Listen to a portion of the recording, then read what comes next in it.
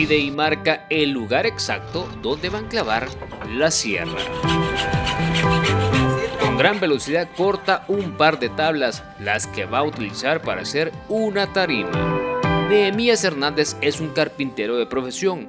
Por el momento trabaja en este taller que se encuentra en la 25 Avenida Sur, a la altura del cementerio La Bermeja.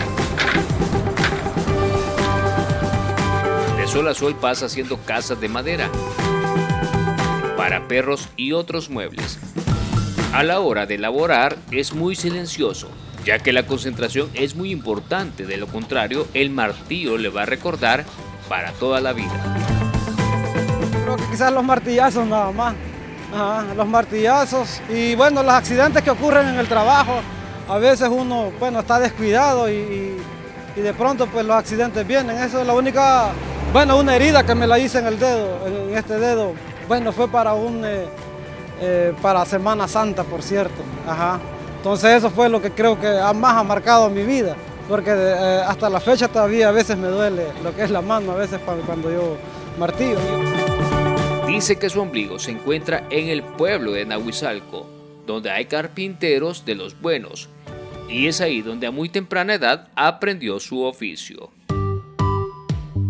De hecho, como toda mi familia es carpintera, ellos me enseñaron a mí lo que es el negocio, lo que es el trabajo de la carpintería. ¿Hace cuánto? Uf, desde que, desde los nueve años. ¿Ha venido Ajá, trabajando. Claro, aquí en San Salvador yo, yo inicié ya por el 2000, 2001, 2002, por así. Fue que empecé a trabajar aquí en esta carpintería. Pero sí, de hecho, mi profesión, soy eh, carpintero de, de profesión. Cuando se siente aburrido, tararea algunas canciones. Una canción que se llama Nothing Else Matter, es de Metallica.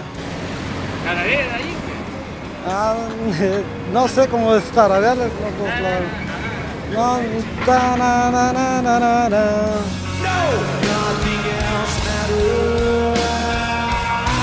Eso, eso sí pasa nomás. O intenta silbarlas. En lo personal solo le hago como no puedo silbar. A sus 34 años ha realizado varios trabajos, pero lo que más ama es hacer que la madera tome forma y que sus clientes se sientan satisfechos. Y es muy interesante escuchar los testimonios de estas personas trabajadoras que día a día le echan ganas para poder llevar el sustento diario a sus hogares. Herbert Vázquez, Código 21.